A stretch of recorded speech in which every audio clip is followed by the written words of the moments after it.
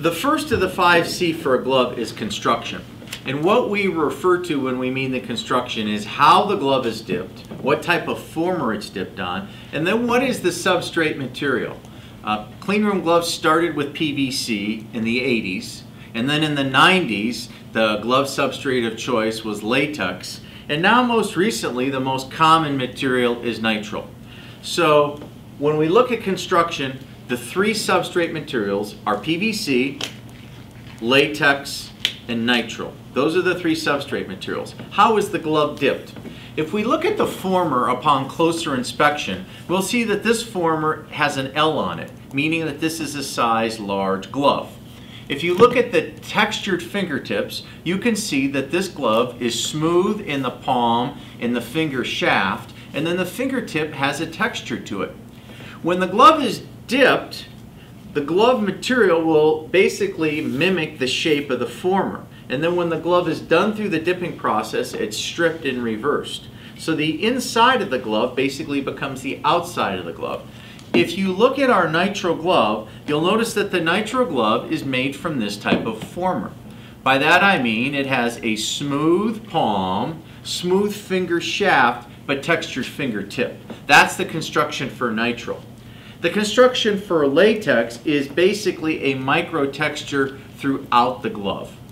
And then the texture for a PVC glove is a former that's all smooth. Um, so let's talk a little bit about the pros and cons of PVC versus latex versus nitrile. When we think of a PVC glove, we think of what the glove comes from, which is a polyvinyl chloride derivative. PVC is a petrochemical derivative, meaning that it's very stable. It's like plastic. Lot to lot to lot, a PVC glove is not going to vary. When a PVC glove is dipped, it's basically a clean process. And when the glove is stripped from the former, it is a clean glove. A PVC glove is dipped not using any powder in the process. So think of a PVC glove as a clean process. The PVC glove also doesn't go through a vulcanization period to case harden it.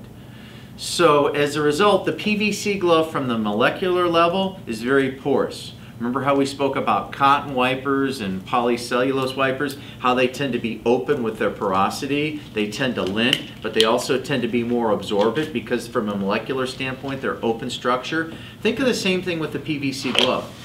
It, it hasn't been vulcanized, so it's porous.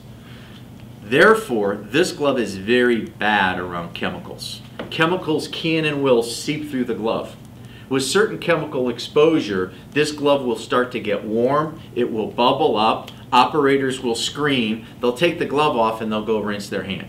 So a PVC glove is clean, but it's really only clean in a dry process.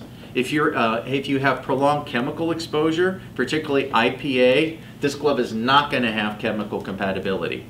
Um, but PVC glove being a petrochemical product is a fairly stable cost and it's going to be consistent lot to lot to lot. That's PVC. Why did the industry go away from PVC to latex? Well, as you saw, this PVC glove is not form-fitting. So, in the 90s, people went to latex. And the primary advantage of latex is it fits like a surgeon's glove. Because still, many surgeons prefer latex because it has very good tensile strength, it has very good elasticity, and it's very form-fitting. So this is latex. The downside with latex is latex basically, like maple syrup, comes from tree sap. Latex comes from the tree sap from a rubber tree. And so the quality of this latex, batch to batch, is a function of the age of the tree, the amount of rainfall, the fertilizer. There's a whole host of influencers that are going to influence whether this glove is clean. And then in addition to that, PVC is very stable indefinitely. Nitrile is very stable indefinitely. By stable, I mean it has a long, long shelf life.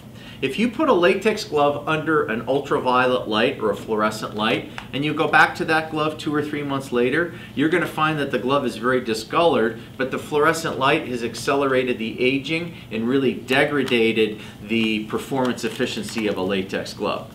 But again, the reason why people went from PVC to latex really wasn't comfort, it really wasn't cleanliness, it was chemical compatibility and the comfort, right? Because you get much more form-fitting comfort with latex versus PVC.